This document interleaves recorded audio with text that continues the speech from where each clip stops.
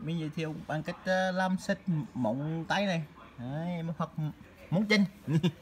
đấy, móng chân ví dụ móng chân này nó có ủ vào hoặc đa như đó. Trời đó, trời. bắt đầu bằng ờ, nguyên liệu cũng bằng chân với ờ, kem đánh răng. Đó, xong rồi. Đầu tiên thì pha tỷ lệ một một thôi dễ lắm. Một muỗng nước chân nước cốt chân á và một muỗng kem đánh răng. Đánh đều lên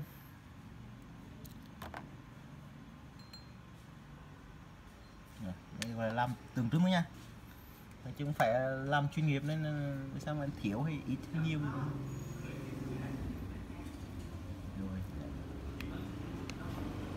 Rồi đánh đều lên. À, đánh đều lên đi. Bỏ. Nó ra mà. Đấy, trộn đều hỗn hợp lên. Thôi mày. Một chút răng tan dùng kem lên răng với kem nào nữa nha. PS hay là Colgate hay là Glow Dốc như là cái nó có vì trong kem nó có chức ờ, có chức năng tẩy trắng. Kem cái gì mà nó có chức năng tẩy trắng. Thì xin các bác nữa mình đó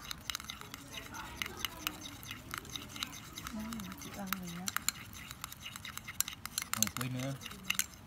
Rồi lên đi chỉ ghép sao rồi đi chưa bố nó tay đi dùng tay bố. Còn như tí đánh. À. đánh răng vậy đi lên à thôi đi lên lau nhà quét nhà rồi.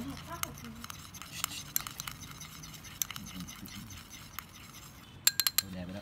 Ui. Đó, đúng rồi, vừa ngó một nó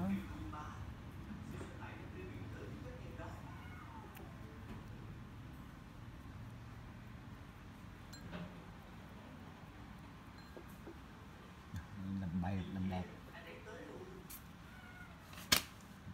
Rồi mình bôi này mình ngâm trong vòng 5 phút nha. 5 phút nè từ từ. Rồi, để vậy 5 phút đi. Rồi, sau khi mình ngâm xong 5 phút, mình nhúng vào nước.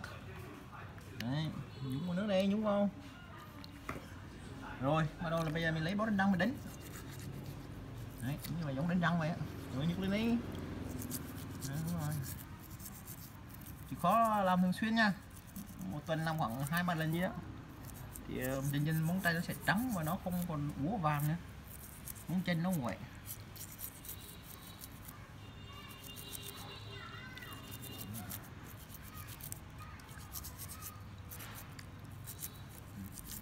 Đây là phương pháp làm bằng tự nhiên rất chi là hiệu quả.